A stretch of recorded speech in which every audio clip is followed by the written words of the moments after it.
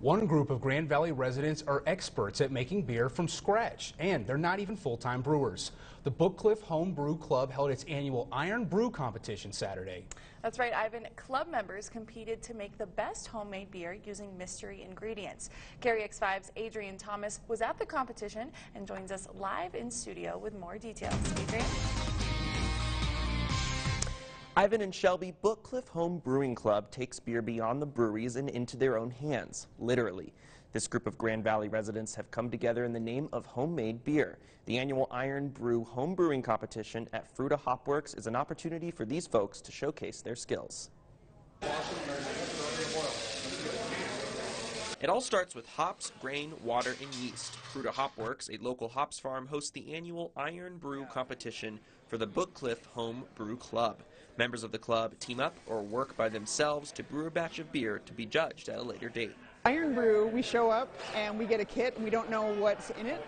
We don't know what kind of hops or malt, and there's always a secret ingredient. In order for each team to get the full points in today's competition, everyone must use sweet potatoes and marshmallows in their beer. And it's all in spirit of the holiday season. It just seems like a perfect time of year when we're getting into Thanksgiving. That, and it's very creative. I don't know that anybody's brewed with sweet potatoes or, mush, or mushroom, marshmallows before. Most participants don't work in the beer brewing industry, but one club member has made beer his life, at home and at work. My day job is I, uh, I'm a regional manager for Oskar Blues Brewery, but as a passion, I've been a home brewer for almost 20 years now, and it's something I enjoy doing and being in the business.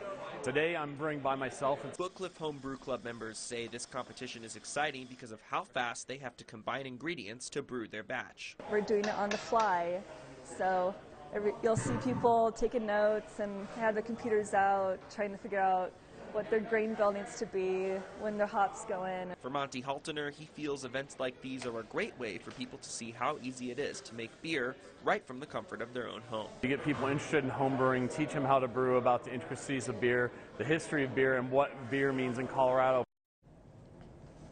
Now, the beer that was brewed at Saturday's competition won't be ready anytime soon. Those at Bookcliff Home Brew Club say it will be at least a few weeks before they can bottle their beer, and the winner of the competition will be decided in a few months when the club meets again for tasting and judging.